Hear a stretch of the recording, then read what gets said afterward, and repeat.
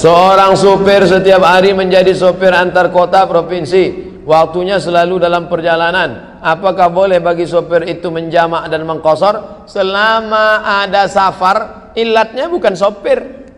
Ini banyak orang sekarang, saya nggak maulah jamak kosor. Kenapa? Saya kan naik mobil. Kalau naik onta baru jamak kosor. Dia tak tahu ilatnya bukan onta. Naik kongkor pun tetap kosor.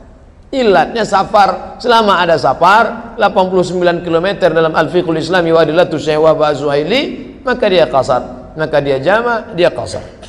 Apakah seorang perlu mengulangi solatnya bila dia solat di dalam kendaraan semisal di pesawat? Mana syarat solat yaitu menghadap kiblat dan lain sebagainya?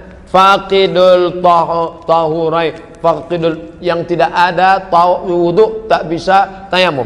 Tayamum debu tak ada, mau wudhu air tak ada apakah solat dalam hal ini tiga mazhab? Menurut mazhab Hanafi tak wajib solat gugur solat. Karena uh, hilang faqid. Orang yang tak ada alat bersuci. Sedangkan mazhab Hambali maka dia solat tanpa wudhu sedangkan mazhab Syafi'i dia solat untuk menghormati waktu dihormati waktu. Setelah sampai di tujuan nanti dia ulang sekali lagi niatnya i'adatan Usalli fardhu zuhri arba'a raka'atin i'adatan. Salat ada tiga, adaan, qadaan, i'adatan. Saya pakai mazhab Syafi'i. Di pesawat itu tetap solat untuk menghormati waktu karena tak boleh waktu lewat tanpa solat. Nanti sampai tujuan diulang sekali lagi. Usalli fardhu zuhri arba'a raka'atin i'adatan. Mengulang. Karena faqidut tahura ini karena hilang tak ada alat bersuci, air tak ada, uh, tayamum tak ada.